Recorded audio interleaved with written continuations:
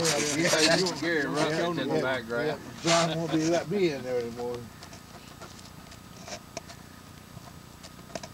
Here's a little eagle cuff, and this is some kind of buckle. What is that? Off of a, a stirrup?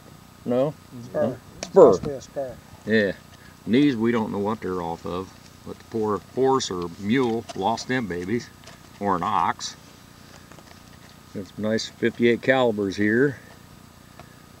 Button backs. then we come down here where the Quindy brothers are at, and they kick butt. Tennessee Trio. Tennessee Trio. They is kicking Minus butt Josh. today. And we don't even know what Josh found because he took off. Pretty good day, fellas. Thanks a lot. Thanks for inviting us down. Give me a big smile there, Quindy. Ah, yeah. Heck Yeehaw! yeah, that's what Josh said. Heck yeah. Here's Gary. Here's Tennessee Earl. Doug, Wendy, Me!